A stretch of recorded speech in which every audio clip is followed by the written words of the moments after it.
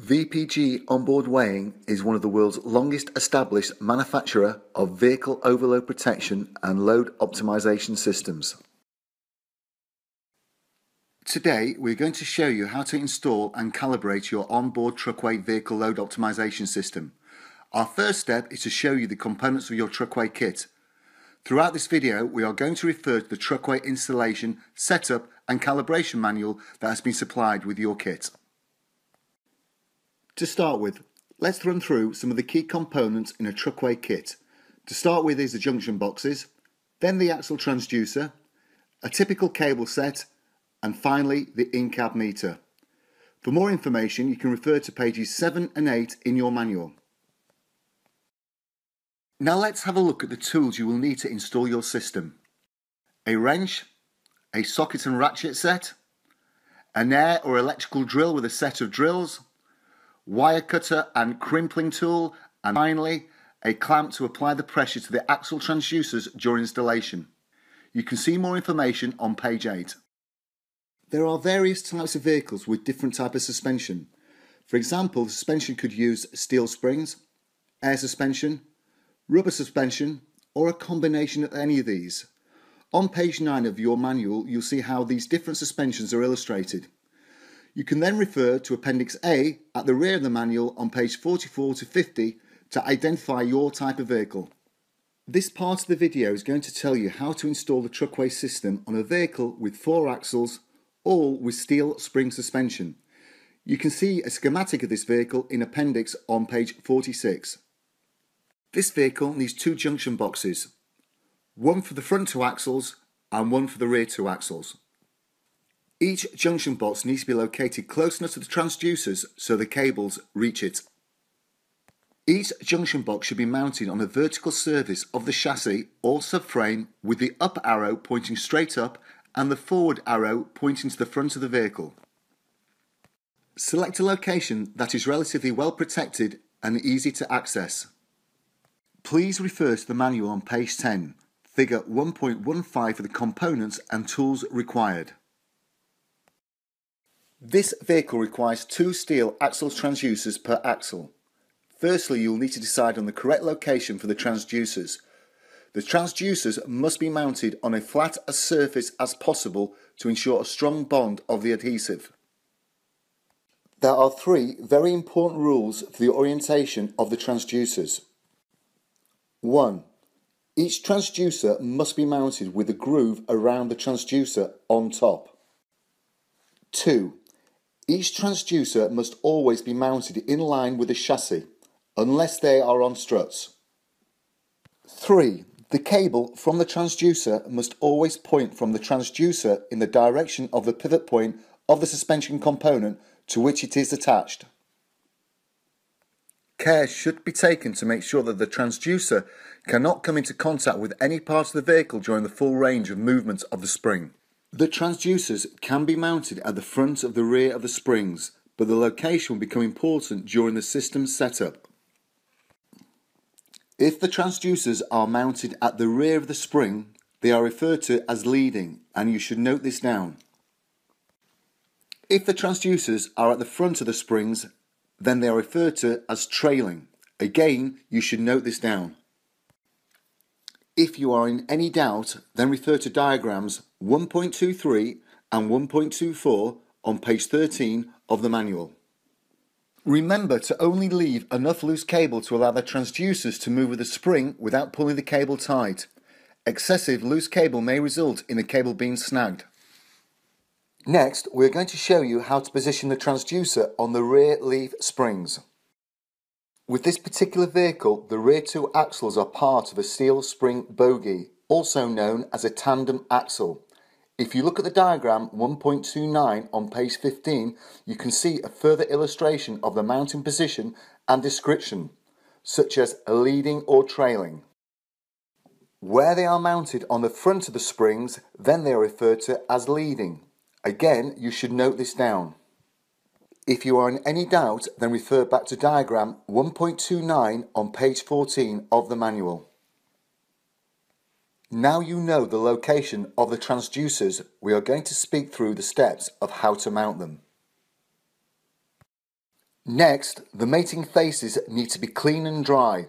On the spring, clean away all dirt, loose paint and rust. Then make sure the site is totally dry and clean down to the bare metal.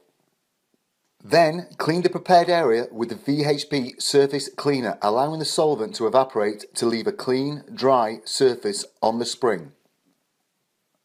Now it's time to clean the transducer with the VHB surface cleaner and then apply one of the VHB tape strips to the transducer, applying pressure to the tape using a roller. Remember to consider the temperature of the surfaces as this should be above 60 degrees Fahrenheit. If not, warm the spring with a hot air gun prior to bonding the transducer. Finally, take the protective strip off the VHB tape and position the transducer in its location. Use a clamp to apply pressure to the assembly for 5 minutes. Then, fit cable ties provide some mechanical support during the bonding time which can take up to 72 hours. The cable ties can be left in place indefinitely. Now we need to connect the transducers to the junction boxes. For this part of the installation, it's important that we refer to the procedure on page 17 of the manual. To start with, route the cables along the chassis with existing cable runs, using cable ties to support the cabling. Avoid running cables on or near sharp or hot objects. Identify the transducer's connector with the location of the transducer so you can identify it when connecting to the junction box. The most common method is to number the connector to correspond to its number on the junction box label. Then you should connect each cable to its corresponding junction box and port number as illustrated in diagrams 1.45 and 1.46 on page 17. The next step is to install the cabling for the meter in the cab. At this stage, it is very important to point out that you must not connect any of the signal cables to the junction boxes or meter until instructed to do so later in the setup process.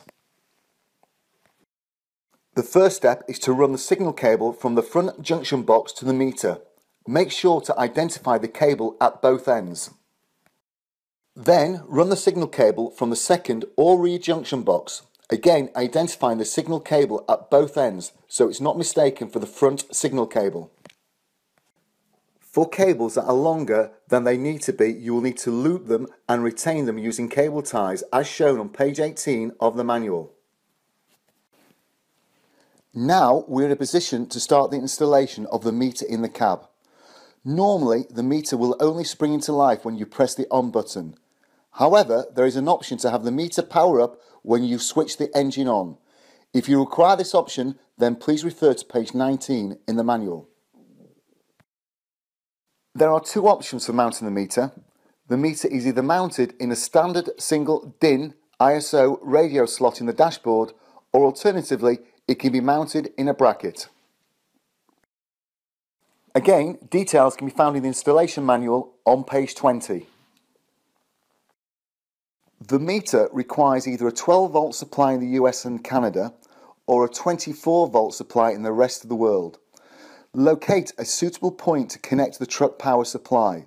The meter would normally be powered from a power source that is on when the ignition key is turned to the first position. The power supply to the meter must be protected by a 3 amp fuse and the brown power cable wire. The black wire is the ground or earth. For further illustrations, please refer to the diagram on page 21 of the manual. Once again, do not connect the signal cables from the junction boxes to the meter at this stage of the installation. There are several additional options for the system that can be found on pages 21 and 22 in the manual. Locate the truck's rating plate and record the maximum gross axle weight and the truck's maximum gross vehicle weight rating and record these figures on the table on page 27 of the installation manual.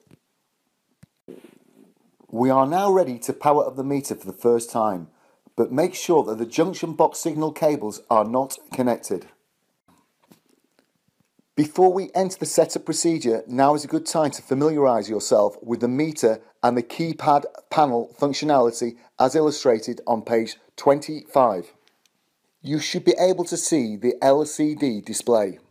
The on off button, the left arrow button, the up and down arrows, and finally the exit button.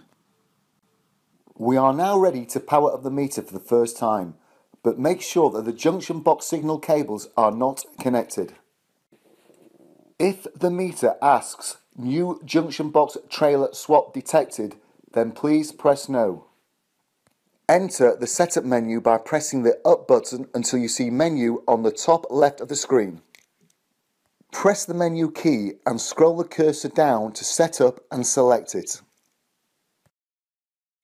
You will most likely be asked to enter a PIN number. The default PIN number is 7711. In this installation, we are installing a system as illustrated on page 27 of the manual in figure 2.05. From the setup menu, select Vehicle Config, then scroll the cursor down to the JBox Config and select it. Plug in the signal cable from the first junction box into the meter and now scroll down to mode 0, cells 1, 2, 3, 4 and press the select button. The meter prompts, are you sure? Yes, no. Press yes. The screen should now say junction box confirmed OK. Press yes. Now unplug the signal cable from the first junction box from the meter and connect the signal cable from the second or rear junction box. Scroll the cursor down and select mode 5 cells 5, 6, 7, 8. Press select. Press yes and press yes again for JBox configured. OK. Now press exit four times to return to the user weighing screen. It is normal to see a CAN-bus error screen. Ignore this. Power off the meter. Reconnect the first signal cable to the meter so both junction boxes are connected. Turn the meter back on and check that the display finds two junction boxes. Finally, fill in the table in figure 2.11 on page 29 of the manual. We now have to check the number of axles and the weighing mode. Access the setup menu as previously described. Check that the weigh mode is set to multi-axle. If not, then scroll and select weigh mode. Press the edit button until multi-axle is displayed. Press exit three times to return to the weighing screen. Scroll up with the key until you see menu. Press the menu key and then scroll down using the arrow keys and select setup. Select the time date option. Use the edit keys to input the correct time and date. Press exit and then confirm by pressing yes. Press exit twice to return to the weighing screen. Now it's time to start preparing the vehicle for the calibration process. First, we have to enter the specific alarm points for the vehicle in question and need to enter the data you wrote down in the manual on page 27. Access the setup menu as you have before and select the alarm option. An alarm point can be set for each individual axle and for the gross vehicle weight, or GVW. The correct setting of parameters for each sensor is critical in making sure that the slope compensation works correctly. Specific details can be found on page 30 of the manual, but briefly enter the setup menu and select the vehicle configuration option. Scroll down to gradient compensation and press the edit button. Now you can scroll through each axle and cycle through the options for leading, trailing or none. If you are in any doubt about the correct selection, then refer back to the axle positioning on page 14 and 15. Press exit to leave the menu when you are happy with the settings.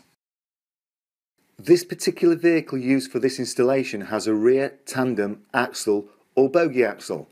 This means that the third and fourth axles share the same rear spring pack. In the setup menu, select the vehicle configuration option.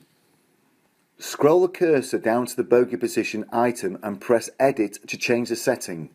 In this case, sensors 5, 6, 7 and 8 are fitted to the bogie axle and you should press edit until the square brackets appear around these sensors. Once you are happy with the setting, exit the menu. You should only commence the calibration procedure when all the previous steps and installations are set up and have been completed. The calibration must be completed on flat level ground on a calm day. Each of the axles on the vehicle need to be weighed both when empty and when full to complete the calibration process. This can be achieved in two different ways. Today we are going to show you how to do this using a pair of weigh pads and levelling mats but you can also achieve the same results by using a weigh bridge provided it has a level approach. If you use a weighbridge, then you can measure each axle by driving the vehicle on or off the weighbridge one axle at a time and noting the readout in each case. The axle weight can then be calculated by simple subtraction.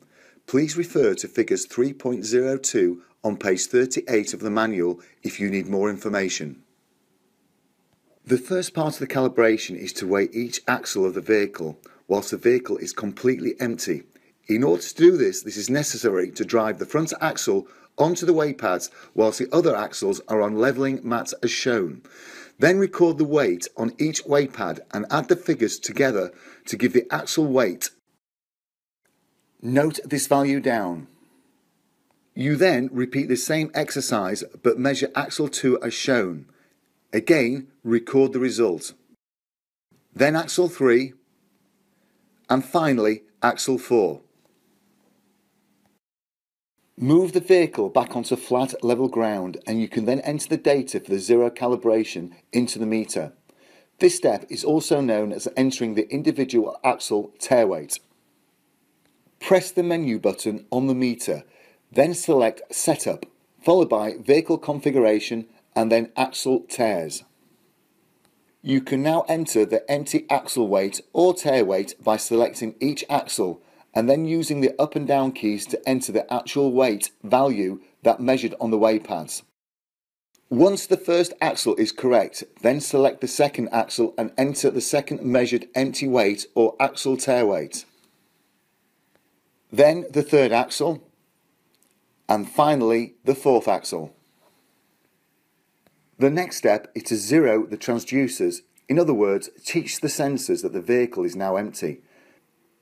To do this, exit the axle tare screen and exit the vehicle configuration screen.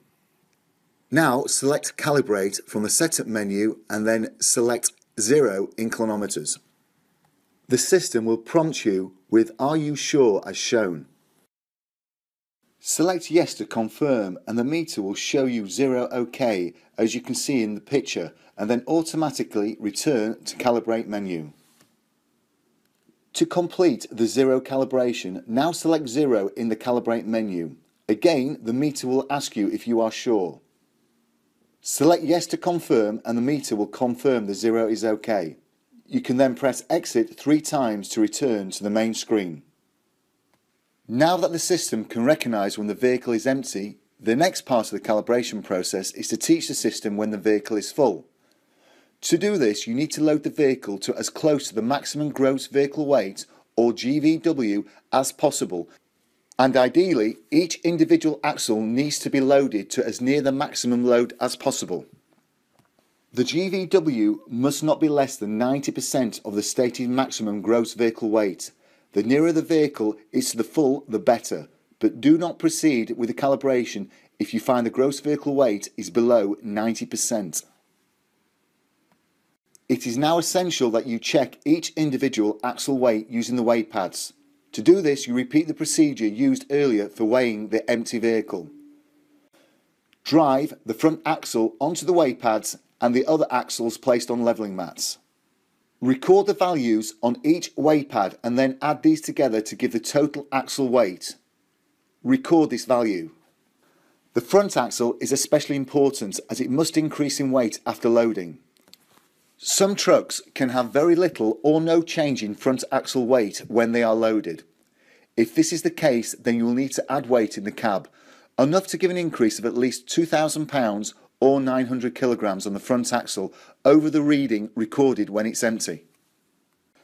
When you have the results for the first axle, then move the second axle onto the weight pads with the other axles on the levelling mats. Again, take the weight readings from each weight pad and add these together to give the weight for the second axle. Again, take note of the axle weight. Then repeat the process for the third axle. And finally for the fourth axle. Then move the loaded vehicle off the weight pads and levelling mats and back onto the flat level ground. The axle span figures that are entered into the meter can also be called the axle net weights. The values are calculated by taking the measured value of the axle when the vehicle is full and subtracting the value when the vehicle was empty. Here we will show you how to do this with the front axle. So firstly we take the value of the first axle when the vehicle was full. We then subtract the axle weight reading when the vehicle was empty. And then we note down calculated value. This is the axle span value for the front or first axle that will be entered into the meter. Before you enter this value, repeat this process by calculating the axle span values for the second, third and fourth axle. With the loaded vehicle still sat on flat level ground, select the menu screen on the meter, followed by the setup screen, the calibrate screen and then the calibrate axle span screen. Select the first axle and enter the calculated axle span value into the meter. Press exit once when the value is correct. Select calibrate. The meter will ask you if you are sure and press yes to confirm. Return to the calibrate axle spans menu and select axle 2. Repeat the process to enter the axle span value for the second axle. Then the third axle and finally the fourth axle. Now you can press exit three times and return to the main user screen. The installation and calibration of your onboard TruckWeigh load optimization system is now complete. Once you have been fully through the process described in this video, you should have little need to adjust any of the settings in your system unless your vehicle has undergone some major repairs that include the replacement of some suspension components. As a matter of good practice, we do recommend that you periodically check the performance of your system by comparing the indicated weight by the system against a weighbridge reading when the vehicle is near to full. If for any reason you wish to check the setup, then you can find a full listing of the system menus in Appendix B of the installation manuals on page 51 to 56. Thank you for choosing a VPG onboard weighing system.